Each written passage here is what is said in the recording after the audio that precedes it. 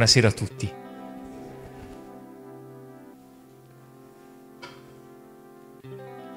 Questa sera avevo pensato di invertire un po' l'incontro, perché in genere noi facciamo l'incontro dove io parlo, purtroppo parlo e parlo anche assai, eh, voi state lì purtroppo e subite che mi ascoltate e poi fate delle domande qualche volta dopo la fine. Io questa volta vorrei invertire l'incontro, fare io una domanda a voi, quindi far lasciare un po' far parlare a voi però eh, vorrei farvi una domanda partendo da un testo del Vangelo eh, che chi ha partecipato a messa oggi avrà ascoltato durante la messa di oggi. E dice così questo Vangelo. È tratto da Luca. Chi di voi, se ha un servo ad arare o a pascolare il gregge, gli dirà quando rientra dal campo, vieni subito e mettiti a tavola. Non gli dirà piuttosto Preparami da mangiare, rimboccati la veste e servimi, finché io abbia mangiato e bevuto e dopo mangerai e berrai anche tu. Si riterrà obbligato verso il suo servo perché ha seguito gli ordini ricevuti? Così anche voi, quando avete fatto tutto quello che vi è stato ordinato, dite siamo servi inutili, abbiamo fatto quanto dovevamo fare. La domanda che vi faccio è questa qui.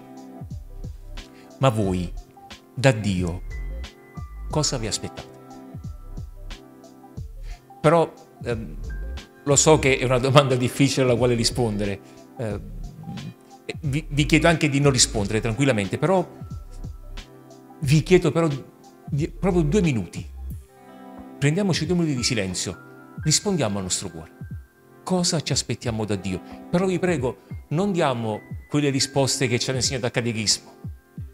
Eh, da Dio mi aspetto la vita eterna, mi aspetto la pace nel mondo. Eh cioè, concretamente, proprio confrontando ad esempio con quello che oggi abbiamo vissuto, con quello che oggi abbiamo fatto, con quello che stiamo sperimentando, con quello che ascoltiamo in televisione, alla luce anche di questo che abbiamo ascoltato qui del Vangelo, ma noi concretamente, effettivamente, ma da Dio, che cosa ci aspettiamo? O se volete, in dialetto, ma da Dio, i che voglia. Proprio un minuto di silenzio, così per far scendere nel nostro cuore questa domanda.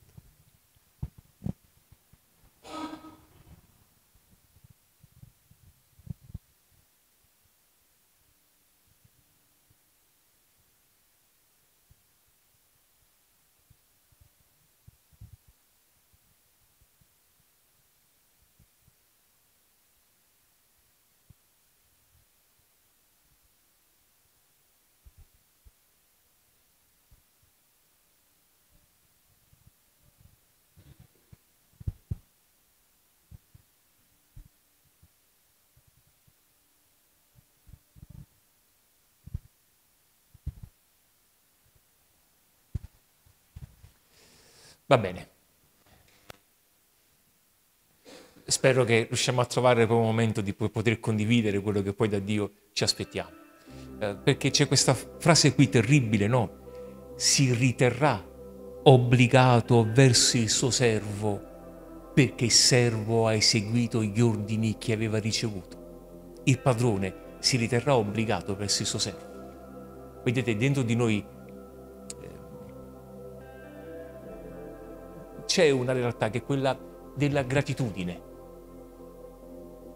Noi saremmo disposti, siamo disposti a fare tutto quello che ci viene chiesto e che possiamo fare chiaramente, però poi diciamo la verità, che qualcuno ci dica grazie ci farebbe piacere. Anzi, quel dirci grazie eh, ci darebbe anche lo sprono per poterlo fare poi un'altra volta. Qualche volta lo diciamo anche, no, mamma mia, non mi hai detto neanche grazie. Aspetta la prossima volta che me lo chiede e poi gli faccio vedere. Così impara.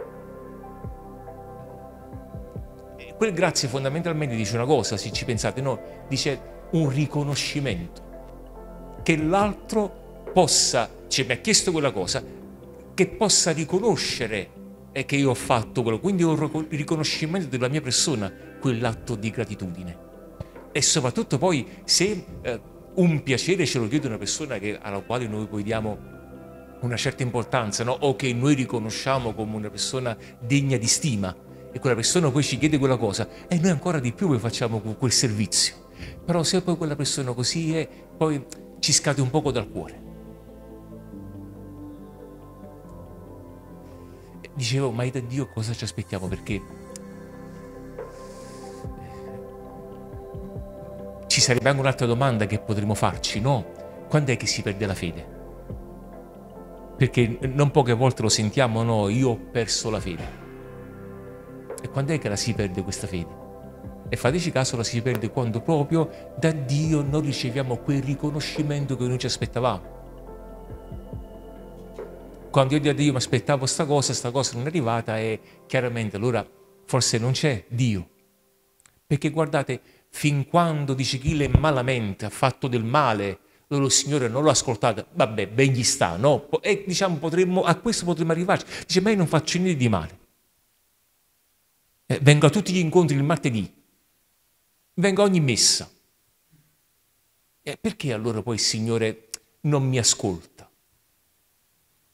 Eh, si riterrà obbligato il padrone verso il suo servo perché ha fatto ciò che il servo doveva fare? O semplicemente perché il servo ha fatto il servizio, il padrone poi si deve essere riconoscente verso il servo perché ha fatto quel servizio? Non deve essere obbligato. Se lo vuole ringraziare, lo ringrazia, ma se non vuole ringraziare, non è che il padrone sta commettendo chissà quale atto particolare nei confronti di questo servo. Anche perché, vedete, è il servo che deve ascoltare l'ordine del padrone, non è il padrone che deve ascoltare il servo. Eh, se vogliamo stare a rigor di logica. Io penso che noi nella nostra vita questo ce lo dobbiamo dire, ce lo dobbiamo ricordare, perché altrimenti eh, siamo sempre su una linea di un mercanteggiare con Dio. E noi non poche volte la fede eh, la, la, la viviamo quasi a livello economico.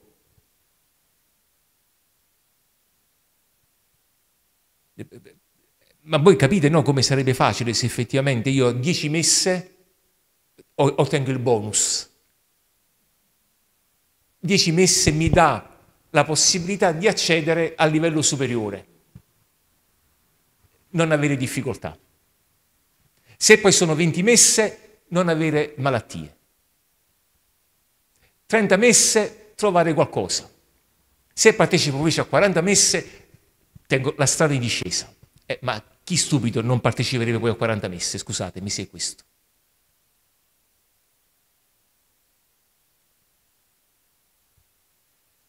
E allora che cosa il Signore mi chiede? Cosa il Signore ci offre? Oppure perché stiamo a perdere tempo poi appresso a Lui?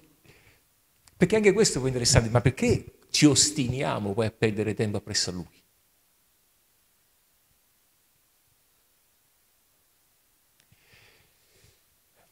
Ci sono due categorie che noi dovremmo riprendere nella nostra vita, due categorie che credo siano fondamentali, eh, la categoria dello stupore e della meraviglia.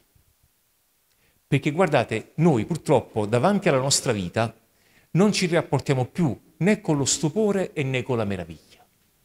Ehm, proprio per quello che forse sperimentiamo e per quello che noi viviamo, siamo un poco disincantati davanti alla vita. Siamo rimasti un poco delusi forse per certe esperienze che abbiamo fatte. Non sto parlando solo a livello di fede, parlo proprio a livello generale.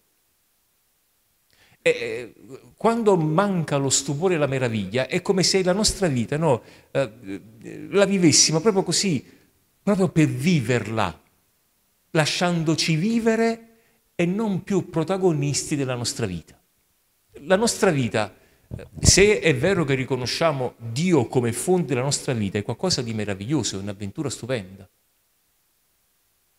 Ma noi proviamo a dire, consideriamo la nostra vita ancora un'avventura. Dici, ma io tengo 70 anni, già che altro ho da aspettarmi? Ma l'avventura è anche 70 anni. Vedete, affinché ci possa essere l'avventura, ci deve essere una sorpresa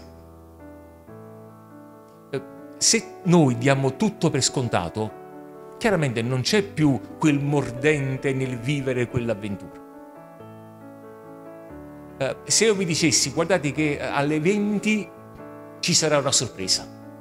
Allora, voi capite, man mano vedere l'orologio, no? mancano 20 minuti alle 20, poi a poco mancano 15 minuti alle 20 e poi chissà che sarà questa sorpresa. Ma capite che cosa si mette in movimento dentro di noi?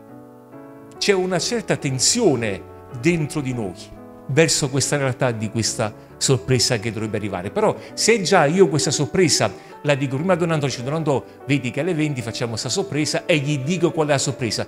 La tensione di Antonio è diversa dalla vostra tensione. Per Antonio aspettare alle 20 per quella realtà non è poi un'avventura, non è qualcosa di stupendo e di meraviglioso aspettare, perché già lo sa. Invece noi che non lo sappiamo, viviamo in tensione, viviamo come una sorpresa, una meraviglia. Riusciamo a rapportarci alla nostra vita pensando che queste famose eventi devono arrivare. Pensiamo che c'è ancora questi eventi che è possibile per noi. O effettivamente diamo tutto per scontato. Eh, io ricordo un'esperienza che ho fatto di, di, di parroco, eh, quando stavo lì a Calitri, quando capitava l'onomastico, il compleanno, facevano la cosiddetta festa a sorpresa al parroco. Che poi non era, già era più una sorpresa, no, sapendo il compleanno. Puntualmente, puntualmente c'era qualcuno che veniva a dirmi, mi dispiace, io stasera non ci sto. Stasera che cosa? ah, io no, non lo dovevo dire. Eh, eh. Però allora, poi tu facevi la persona così scendevi giù, facevi la parte indifferente. Eh, però chiaramente era venuta già la sorpresa, capite?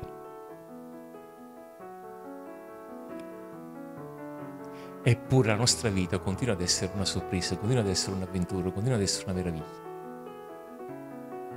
Eh, e, questa realtà, vedete, noi la possiamo vivere veramente se abbiamo la capacità eh, di poter pensare che nella nostra vita i coinvolgimenti o gli stravolgimenti sono ancora possibili.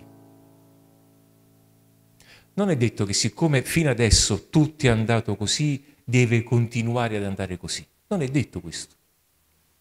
È vero, noi abbiamo dei condizionamenti, ce li portiamo tutti quanti appresso.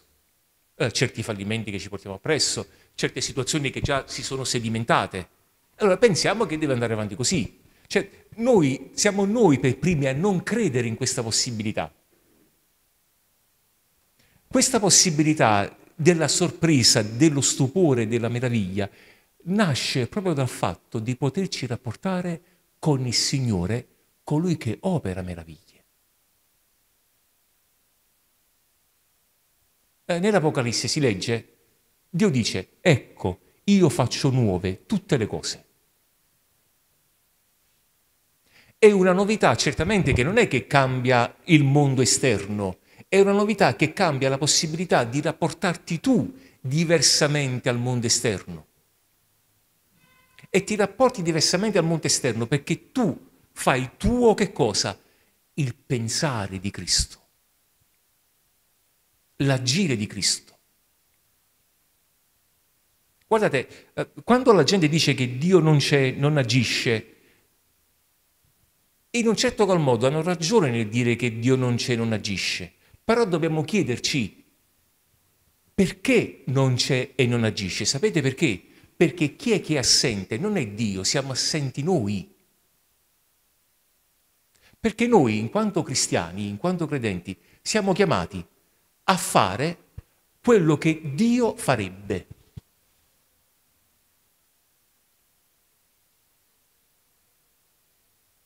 Allora c'è una situazione e io mi interrogo su questa situazione, però mi devo dire, Dio che cosa farebbe in questa situazione? Perché noi siamo bravi a fare una cosa, noi siamo bravi sempre a scaricare su qualcun altro e mica lo devo fare io.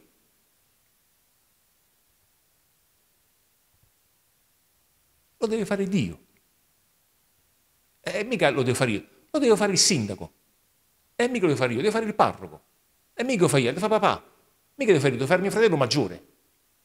C'è sempre qualcun altro che deve fare la cosa, mai che diciamo sì, ma io che cosa devo fare? Davanti a questa situazione, qual è la mia vocazione? Noi abbiamo una vocazione, che non è farsi prete o farsi suore, neanche quella di sposarsi. Cioè, davanti alle situazioni, le situazioni che capitano, che accadono, sono tutte chiamate. Allora, davanti a quella situazione, qual è la mia chiamata? Sono chiamato a che cosa in questa situazione? Allora, capite, se la vocazione è la chiamata che mi fa Dio, ma voi capite che significa che io con Dio entro in comunicazione. Con Dio noi entriamo in relazione ma non è una relazione per vivere un atteggiamento intimistico tra me e lui, che bello questa intimità che vivo con Dio, come abbiamo detto tante volte anche quando facciamo la comunione. Questa comunione con Dio, siccome in Dio tutto è una proesistenza, cioè Dio esiste per, se io entro in comunione con Dio è per scoprire anche io come della mia vita è una esistenza a favore di. Noi non esistiamo per noi stessi, nessuno di noi esiste per se stesso, noi esistiamo per gli altri. Noi esistiamo per creare comunione. La Chiesa è comunione. Io penso che sulla comunione noi avremo molto da doverci interrogare. Eh, proprio la butto così. Noi siamo più comunione, creiamo più comunione o divisione proprio quando parliamo anche tra di noi. Sono più elemento di comunione quando quello viene a dirmi, ma sai, hai visto quel, eh, tu hai ragione, sì, sì, cioè, quel, capite, in quel mio parlare con quella persona, quel fratello, quella sorella, io metto seme di comunione o di discordia. E se metto seme di discordia, sapete che, perché metto seme di discordia? Perché purtroppo non riesco a vedere il bene. Diceva perché c'è il bene, ce n'è tanto di bene, solo che non riusciamo a vederlo. Ricordate quando il giovane ricco meditammo su, un ritiro facevamo su questa pagina del Vangelo, quando il giovane ricco chiede a Gesù, lo interroga, maestro buono, che cosa devo fare per avere... Gesù gli risponde, perché mi chiami buono? Uno solo è Dio, uno solo è buono, ed è Dio. Allora, tu vuoi scoprire la bontà, vuoi scoprire la bellezza, Devi andare alla fonte della bontà e della bellezza. Devi andare da Dio.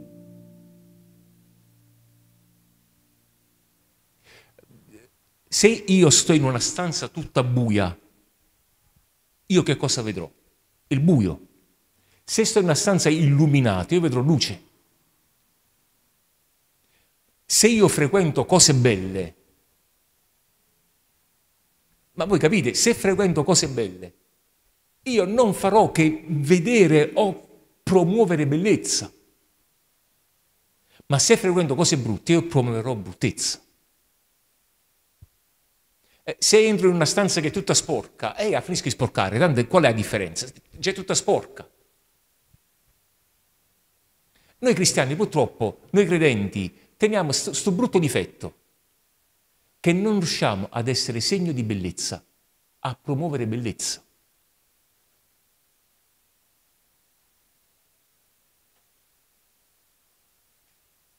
Non può essere così per noi.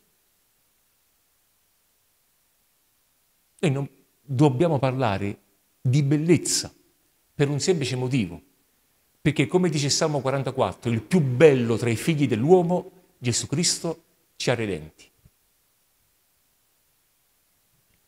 Ma giusto una curiosità, eh, quando vi siete fidanzati, eh, ai vostri occhi, lei o lui è la persona più bella del mondo. Nessuno sceglie la cosa più brutta.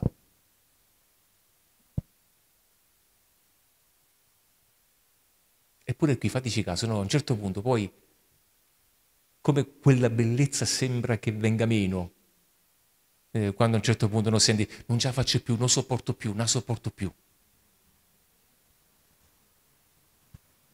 Ricordate il Vangelo domenica scorsa, no? Quella donna dei sette mariti. Eh. Li ha fatti fuori tutti e sette.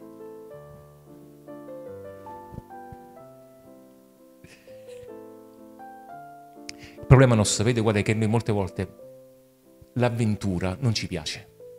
Ah, stiamo così belli, quieti e tranquilli, tu mo vieni e ci vuoi, eh, eh, ci vuoi stravolgere dai, dai, dal nostro piano ordinario siamo abitudinari, no? E, mo hanno fatto i due parroci, mo chissà che, che, che cosa de, che, devo, che vogliono questi due mo adesso da noi. Ma lasciateci quieti. Non vogliamo lasciarci sconvolgere per un semplice motivo, perché lo sconvolgimento non sappiamo che cosa ci porta. Però il problema sapete qual è? Che il Signore, il Signore agisce così. Il Signore quando interviene, interviene sconvolgendoci, non presentandoci la solita routine o abitudine.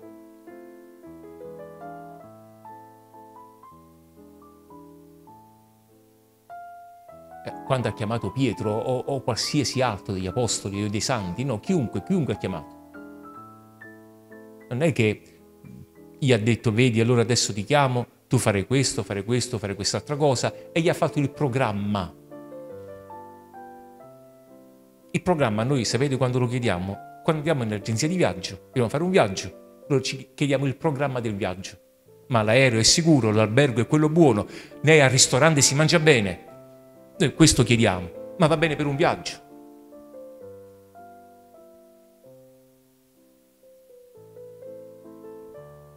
Il Signore invece non, non ci presenta, eh, perché se così fosse, capite, la storia sarebbe già scritta. Dice, ma perché Dio non è onnisciente? Un conto è che Dio sa, ma il fatto che Dio sappia non è che Lui mi costringe a fare quello che devo fare. Lui lo sa perché sa, però c'è la mia libertà.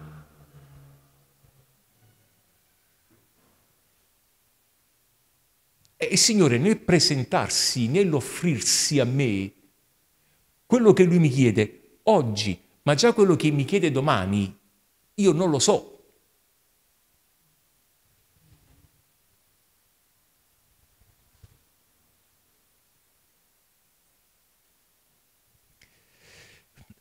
Questo qualche volta ci angoscia nella, nella nostra vita. E allora do, dobbiamo effettivamente chiederci e capire eh, se l'avventura quella che leggiamo nei Vangeli, leggiamo nella Sacra Scrittura, ascoltiamo dei santi, no? Se è una cosa che sta lì e riguarda lì, oppure se poi riguarda tutti quanti noi. Perché voi capite, di tutti quelli che sono stati chiamati, facciamo riferimento anche solo ai dodici, tutti e dodici hanno fatto una brutta fine. Sono morti martiri.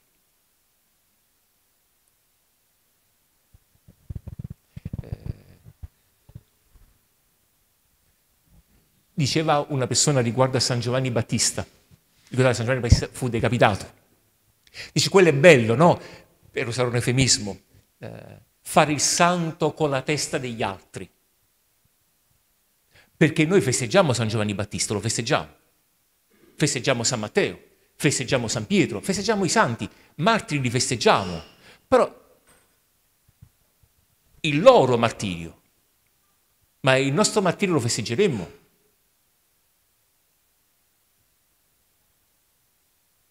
E dei santi, lo sapete, noi celebriamo il giorno in cui sono morti, il Dies Natalis. E come noi ci raduniamo a celebrare il giorno in cui facciamo festa per un santo che è morto?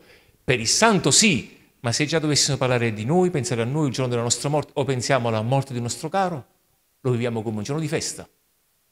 Diciamo che è un lutto.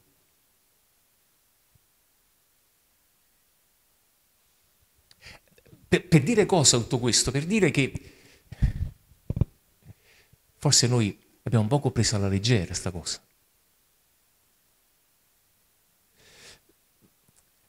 Guarda, non è, dice, ma allora la mancanza di fede, non fede. No, non è questione di mancanza di fede o meno. È questione effettivamente di credere a una realtà bellissima che sapete qual è? Quella che il Signore su di noi ha posto il suo sigillo. È quella di sapere che siamo nelle mani di Dio. Certo, noi gli vorremmo chiedere, no, Signore, facci uno sconto. E il Signore dice, non ti preoccupare, io sono con te. Questo è quello che ti dico. Il Signore dice, io ti grandisco, sono con te, non ti preoccupare. Non pensa allo sconto, io sono con te. Allora, come fare? Come dicevamo la settimana già scorsa, 15 giorni fa, se vi ricordate, dobbiamo frequentarlo il Signore. Dio va frequentato. Perché o la vita cristiana e quindi la vita spirituale, il rapporto con il Signore diventa realtà quotidiana, oppure la vita spirituale, l'essere cristiani, se non coinvolge la mia vita quotidiana, anche il fatto che io mangio, bevo, permettetemi, anche che vado in bagno, se non coinvolge quello, la vita cristiana non ha niente da dirci.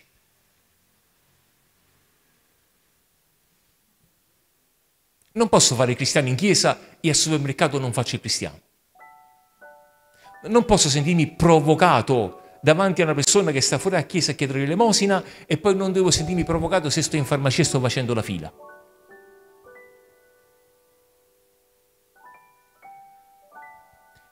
Dal modo anche in cui posso rispondere al telefono, io dico di essere cristiano, da come dico pronto. O da come mando a quel paese i testimoni di Geova domenica mattina quando vengono a bussare a casa mia, anche da come li posso mandare a quel paese, io posso dire di essere cristiano.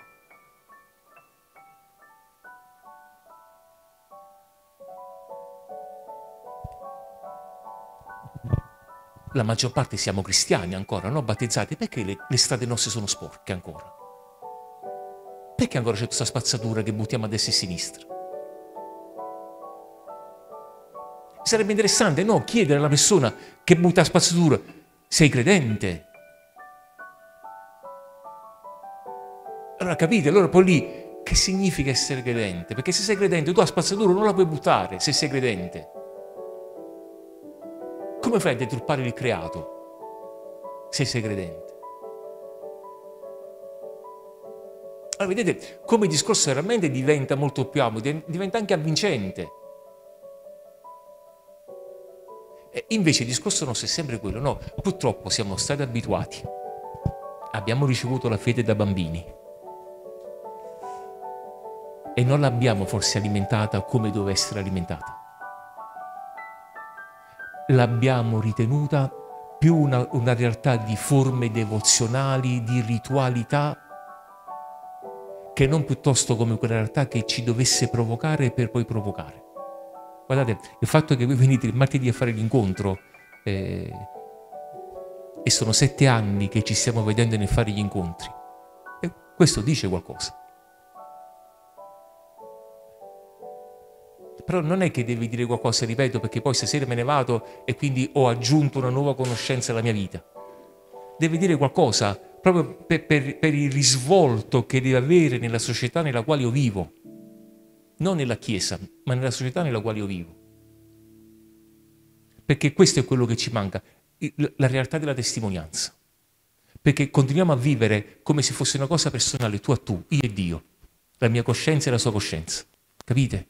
la cosa spirit- perché per noi la, cosa, la realtà spirituale è quella che vivo nel cuore, è quella parte interiore di me, di me stesso, la cosa spirituale, e io la vivo con Dio. Stasera abbiamo fatto un bel incontro, oppure che brutto incontro, però capite, finisce lì. No, non, non deve finire qui.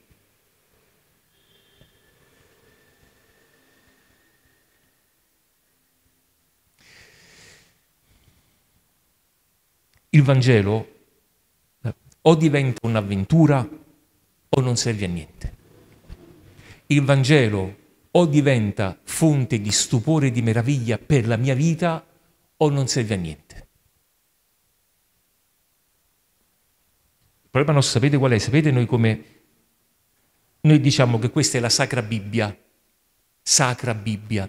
E quando noi usiamo no, questo aggettivo sacro, sacra, la pensiamo che sia così sacra che addirittura cerchiamo di metterla quando è più in alto possibile perché è sacra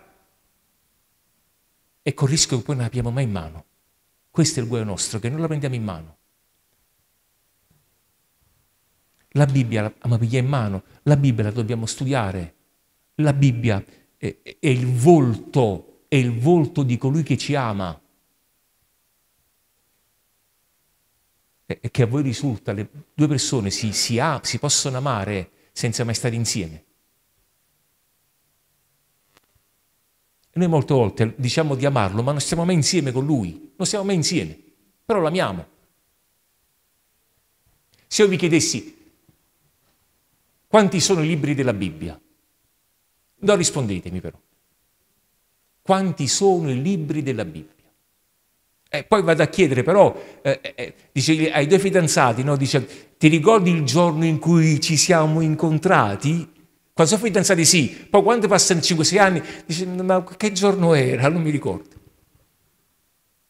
Ti ricordi la canzone con la quale abbiamo fatto il primo ballo? Questo però di noi più vecchi, i giovani oggi già questo non ce l'hanno più. Allora, capite, se tu ami, se tu ami c'è interesse, ma se non ami non c'è l'interesse, perché mi devi interessare di te se non ti voglio bene? Scusa. Chi sei per interessarmi di te se non ti voglio bene? Allora, parto dal presupposto, ho la consapevolezza che lui mi vuole bene. E io per sapere se una persona mi vuole bene, cioè ci devo stare insieme per capire se mi vuole bene.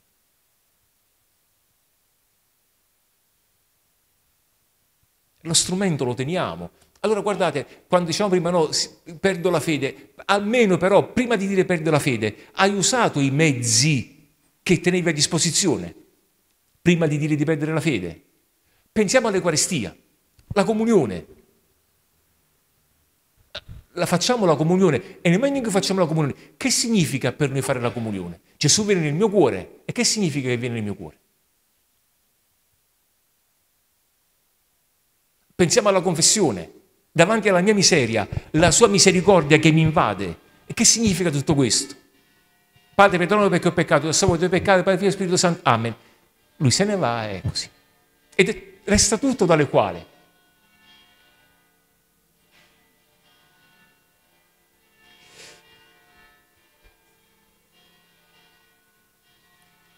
Le azioni, le azioni dicono, dicono quello che tu vivi.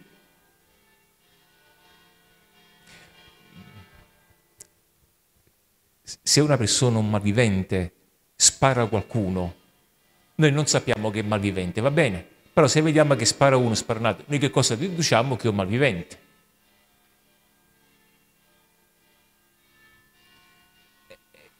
Noi chiamiamo, vedete, la, la cosa più triste, sapete qual è? Che il male per imporsi non deve fare niente. Il male per imporsi una sola cosa, il bene non fa il bene. Nel momento in cui il bene non fa il bene, il male si è imposto. Perché non facendo il bene, tu lasci uno spazio. Lo spazio che lasci, quello è il male.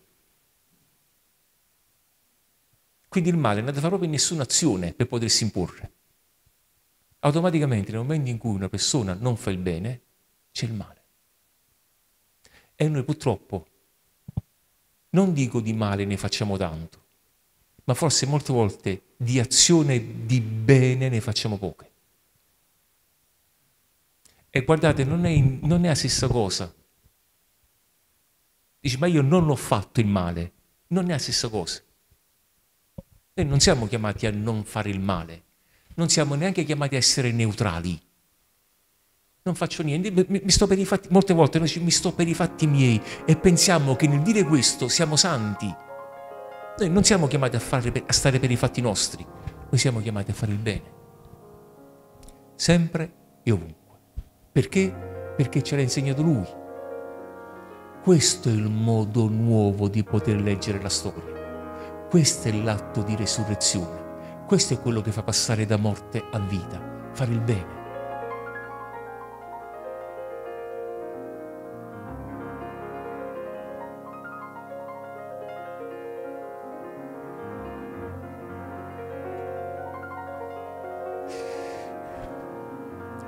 davanti a questa realtà che coinvolge, capite, tutta la nostra vita, non possiamo stare a chiedere al Signore che ci spieghi la nostra vita. Perché la spiegazione che il Signore ce la dà, ce la dà momento per momento. Il, il, il come andrà a finire, noi non lo sappiamo. Come concretamente la nostra vita si svolgerà, noi non lo sappiamo sappiamo che ci aspetta che cosa? Ci aspetta un'immensità di benessere, questo sappiamo, ma come raggiungeremo questa realtà? Noi non lo sappiamo. Lo vorremmo sapere, ma non lo sappiamo. Quindi allora, anziché stare lì a perdere le energie no, su, su, questa cosa qui, perché non cerco di vivere la mia quotidianità lasciandomi illuminare dall'incontro con la parola? E come dicemmo 15 giorni fa, non si tratta di essere eh, studiosi di teologia biblica per sapere che cosa mi dice la Bibbia, perché non ci è chiesto questo. Quante volte nelle nostre storie chi ci parla, anche se è una persona cara, non la capiamo?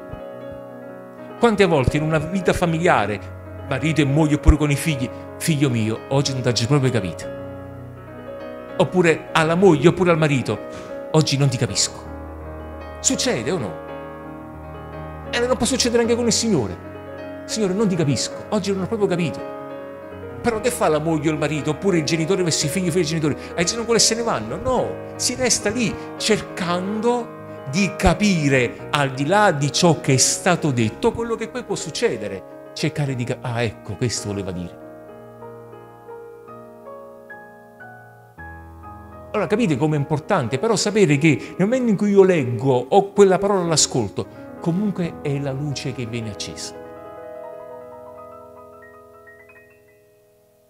Lampada ai miei passi è la tua parola, Signore, così dice Salmo. Dice, ma tu sei ripetitivo. Ma non è che sono ripetitivo, perché fuori, al di fuori di questo noi non abbiamo nient'altro. Cioè, la parola è come se fosse una mappa per la nostra vita. E abbiamo bisogno di indicazioni per un semplice motivo, perché da soli noi non ce la facciamo. Da soli noi non abbiamo la capacità. C'è bisogno di altro, di qualcuno che ci accompagni nella lettura di questa vita come avventura. È la scrittura, Dio ci accompagna in questo. Però mi lascio accompagnare da Dio. Capite? Sempre di no, ma io Dio non lo capisco. Sì, d'accordo, non lo capisco però per questo motivo, perché non lo frequento, perciò non lo capisco. Dicevamo la settimana scorsa, 15 giorni fa, ci manca la grammatica. E voglio andare a scuola, voglio imparare o non voglio imparare? Come quello no, capite? Sapete, dice che vuole vincere al totocalcio e prego Signore di poter vincere. Il Signore dice però la schedina l'hai giocata almeno. A me da parte gioca a schedina, noi ti voglio pure aiutare, però a schedina la devi giocare tu. No, noi invece no, vogliamo che lui ci giochi pure a schedina.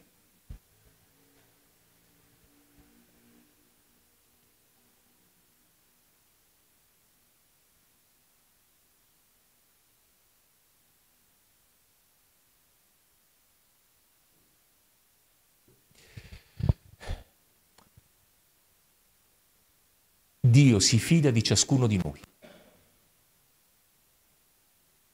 Dio si fida di ciascuno di noi. Vedete, noi vogliamo fidarci di Dio. Dio si fida di ciascuno di noi.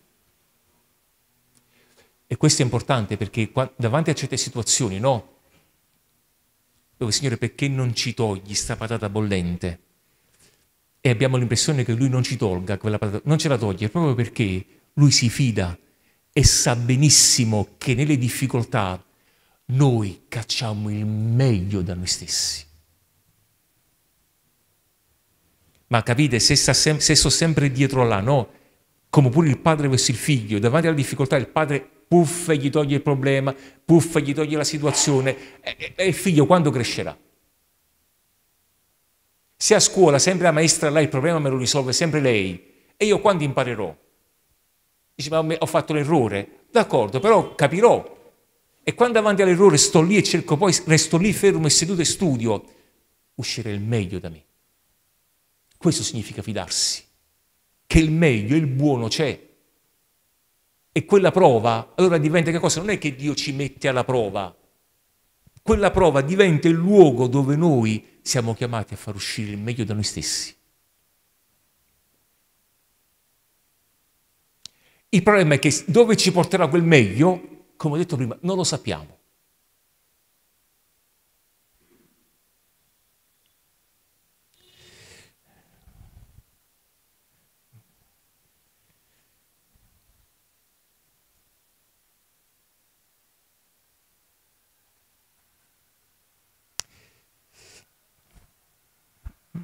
Chiudo, eh, chiudo con la, Tutto questo chiama in gioco, sapete che cosa? La nostra libertà. Il problema nostro, sapete qual è? Che noi fondamentalmente noi non vogliamo essere liberi. Vogliamo sempre che qualcuno ci dica che cosa fare e come farlo. La libertà ci spaventa, perché la libertà chiama in causa la tua responsabilità. Invece quando qualcun altro no, dice fa questo, dice ma che hai fatto? Dice me l'ha detto lui. Quindi capite come la responsabilità non è più mia di quello che mi ha detto cosa dovevo fare. La libertà invece chiama in causa te stesso eh, eh, la libertà è con responsabilità e responsabilità significa saper rispondere. Eh, la persona responsabile è quella che sa rispondere e allora questo significa che n- non dobbiamo stare sempre lì a cercare la colpa in qualcun altro. Eh, la capacità di avere la libertà di dire che io non mi voglio lasciare più condizionare da quello che fino adesso è successo eh, io ho la capacità, il passato c'è il passato, però ho la capacità di poter progettare il mio futuro, di poter guardare il mio presente. E il mio presente lo voglio guardare proprio come questa storia, come questa avventura, come questo qualcosa di stupendo e di meraviglioso. E questo mi farà stare vivo, mi farà essere vivo, mi farà percepire veramente la realtà diversamente. E, e, e questo è quello che mi, mi fa essere, mi fa pensare dell'essere figlio di Dio, perché agirò proprio come un figlio cerca di agire come agisce suo padre, frequentando attraverso la scrittura, nella libertà, nell'incontro con lui, nella consapevolezza che non tutto sarà chiaro, ma comunque la luce accesa, di poter confrontare veramente la mia quotidianità e in quella quotidianità la certezza della fiducia che lui ha su di me. E con questa fiducia che lui ha su di me poter illuminare il momento presente illuminandolo, però ripeto, come figlio di Dio, vedendovi bellezza, promuovendo bellezza, che non significa chiudo gli occhi e faccio la parte indifferente sul male, ma significa che quel male lo voglio riscattare, lo voglio riscattare portandolo alla sua vocazione, che appunto è una vocazione per tutti ed è una chiamata di bene.